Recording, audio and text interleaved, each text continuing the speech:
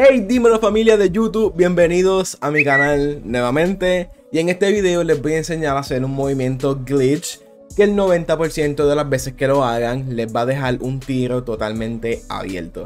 Así que si te interesa, quédate hasta el final del video y no olvides que si te gusta lo que estás viendo y le consigues algún tipo de valor e información en este video, humildemente te invito a que dejes tu like, te suscribas al canal y enciendas la campana para que estés al tanto de todo lo nuevo de NBA 2K. Ahora sí, vamos con el video.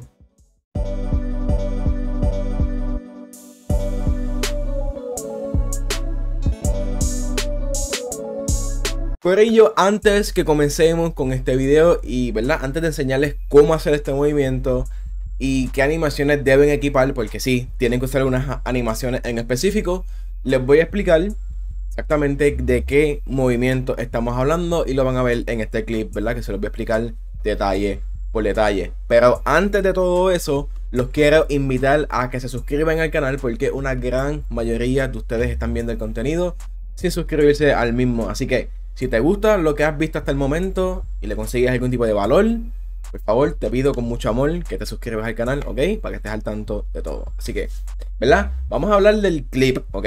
Sobre este movimiento es el famoso Stizo Spin Move Estizo es un creador de contenido desde mucho tiempo. Personalmente nunca lo he seguido, pero este año ha cogido mucha popularidad, ¿verdad? Por su estilo de juego tan peculiar y tan único, ¿ok? So, él fue el que básicamente descubrió, ¿verdad? Digo entre comillas porque a lo mejor alguien lo había hecho ya, pero él fue el que lo hizo pues, popular y lo hizo público. Él fue el que encontró, ¿verdad? Y descubrió este movimiento en giro. Es un movimiento que él ataca el canasto y antes de llegar al canasto hace un giro y se queda totalmente abierto porque la gente no se espera ese movimiento y además es bien letal, es bien rápido, ¿ok? Así que aquí por supuestamente lo vamos a ver. Como pueden ver, yo tengo el balón. Esto tiene audio. Déjame quitárselo aquí rapidito. ¿Ok? De, ya lo vieron, pero vamos a verlo aquí poco a poco de nuevo. Como pueden ver, yo pido que me dejen solo, ataco el canasto, hago un giro, me quedo solo y tomo ese tiro, ¿ok? No me quedo 100% solo, ¿verdad? Porque cuando hago el giro, ¿verdad? Pude haber tomado este tiro. Definitivamente lo pude haber tomado. Pero preferí atacar esa brecha izquierda y tirar un midrange como pasó en este caso, ¿ok? Quiero que vean esto exactamente como se los estoy mencionando. Hago el giro y él a lo mejor iba a esperarse que yo fuera a tirar ese tiro, ¿ok? Pero preferí tomar esa decisión. Vamos una vez más para que lo vean completo y que vean, ¿verdad? El giro en acción, ¿ok? ¡Boom! Solo y ataco el canasto, ¿ok? Así que ya habiendo visto ese clip, ahora les voy a enseñar cómo hacerlo y qué animaciones deben estar utilizando. Así que ya estamos aquí y les voy a enseñar qué animaciones específicas deben utilizar. Hay una que es obligatoria, esta la tienes que utilizar y hay una que pueden combinar este giro con ese movimiento que normalmente es el que utilizan, ¿verdad? Así que no voy a seguir dándole vueltas al asunto y les voy a enseñar exactamente qué movimiento les estoy hablando, ¿ok? Y es este que están viendo aquí. El moving spin tienen que ponerlo en básico, ¿ok? Yo lo tengo en inglés, el basic pero en español sale básico. Tienen que utilizar ese obligatoriamente si quieren hacer este movimiento en giro, ¿ok? Uno que también están combinando porque de verdad te da muchísimo espacio, mucho más del que yo les enseñé en ese clip. En el Moving Step Back tienen que utilizar el Luka Doncic. Yo sé que mucha gente utiliza el normal porque te da un espacio y te da una animación que de la misma puede salir en... ¿Cómo se llama? En Speed Boost, que también se los puedo enseñar en un siguiente video en los comments si quieres saber cuál movimiento les estoy hablando. Pero en, para efectos del video y enseñarle todos los muñequitos, lo vamos a utilizar, ¿ok? Así que ahora mismo nos vamos a dirigir hacia la cancha. Como saben, yo siempre les recomiendo 100% que practiquen estos movimientos de dribbling. En la cancha de Pro si no tienes una, la puedes crear tú solo, no hay, no hay problema con eso. Porque practicar en otra, en verdad, hay diferentes canchas en el juego que puedes, puedes ensayar un movimiento de dribbling sin estamina. Pero seamos honestos, se juega con estamina, así que tienes que practicar lo más que pueda en juego real, ¿verdad? Que tengas todo lo que va a estar en el juego real para que cuando vayas al juego, ¿verdad? Que vayas a jugar un partido, pues no te hayas acostumbrado a dribblear sin estamina, ¿ok? Así que antes de enseñarles esto, les voy a poner el mando en pantalla, lo están viendo ahora mismo.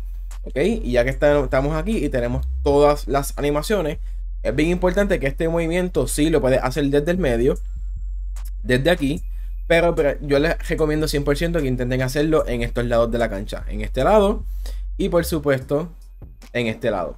¿Ves? Ya gasté una, una baja de estamina, vamos a coger un balón nuevo. So, vamos a hacer el movimiento. Lo primero que tienen que hacer es arrancar con el turbo. También en pantalla aquí. Van a arrancar con el turbo hacia adelante, ¿ok? Eso puede ser una situación de juego que puede estar bajando el balón de cancha a cancha y estás bajando el balón con todo el turbo, ¿verdad? Hacia la cancha. Y lo primero que tienen que hacer es el joystick derecho, este que están viendo aquí. Tienen que hacer exactamente este movimiento que les voy a enseñar ahora mismito. Y es este. ¿Ok? Imagínense un gelo en sus mentes. En sus mentes pongan un gelo, ¿verdad? De las manecillas, no digital. De las manecillas e imaginen que el joystick es un gelo. So, aquí son las 12, aquí son las 3, aquí son las 6 y aquí son las 9. El, movimiento que van a hacer para hacer este giro lo van a hacer de 12 a 6. So es de aquí hasta las 6. ¿Ok? Tigre ahí, pues, obviamente. So, lo van a hacer con el turbo y arrancando hacia adelante. Así que lo vamos a hacer ahora y yo se los pongo en cámara lenta, ¿ok? So, es algo así. ¿Ok?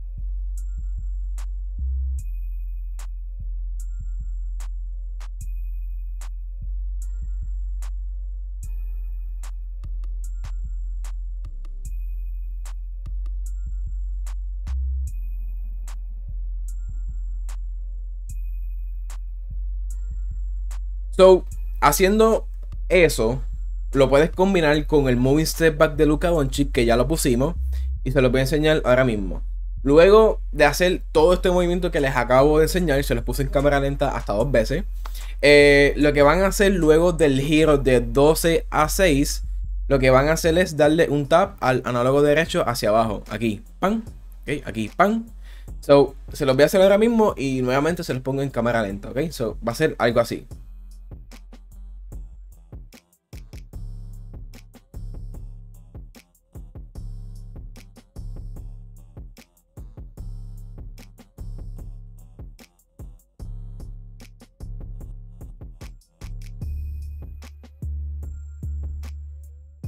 Ven la cantidad de espacio que este movimiento crea. Se los puse en cámara lenta también dos veces para que lo vean. Pero es una estupidez. De verdad, es una estupidez. Como les dije al principio del video, esto les va a salir el 90% de las veces se van a quedar un tiro solo, ¿ok?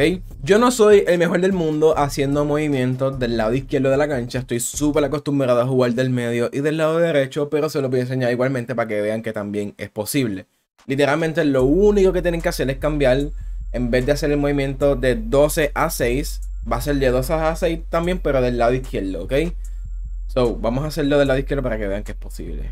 ¿Ok? Y ya estamos, ¿verdad? Eso es excelente movimiento. Ahora vamos a combinar el giro con el moving step back de Luka Doncic. Y va a ser algo así. ¿Ok? Excelente movimiento, como les mencioné familia los va a dejar, el 90% de las veces que lo hagan, lo van a dejar abierto. Obviamente, si les spamean todo el juego y la defensa te lee, pues va a ser un poquito complejo, porque ya saben que vas a hacer ese movimiento, así que te van a esperar a que lo haga y te van a defender bien fácil, ¿ok? Y realmente, insignias que tienen que utilizar para hacer este movimiento, pues puede ser Quick First Step, que a veces lo pueden hacer de aquí mismo, ¿verdad? Arrancando el canasto, lo hace y ¡pum! Y ahí estamos, ¿ok? Quick First Step es una. Hyperdrive puede ser una que no entiendo que no te va a ayudar demasiado, pero sí te puede dar un pequeño boost. Eh, 100 for Days para que no te canse. Y también entiendo que este movimiento lo pueden hacer pivots, a la pivots, locks, porque el moving spin basic lo puede tener absolutamente todo el mundo. O a menos que ustedes sepan que no y me dejen saber en los comentarios si me estoy equivocando, ¿ok? Son bienvenidos a eso. Así que ahí tienen familia ese pequeño tutorial de cómo hacer ese movimiento. También les puedo enseñar el que les dije que es el Moving Step Back normal, que está súper durísimo y de él puedes hacer muchas combinaciones de movimientos. Que yo entiendo que sí, que lo voy a hacer. Pero déjame saber en los comentarios si lo quieres ver de igual manera. Así que no olvides que si le conseguiste algún tipo de valor e información en este video, humildemente te invito que dejes tu like, te suscribas al canal y enciendas la campana para que estés al tanto de todo lo nuevo de NBA 2K. Ahora sí, los veo en el siguiente video. Bye.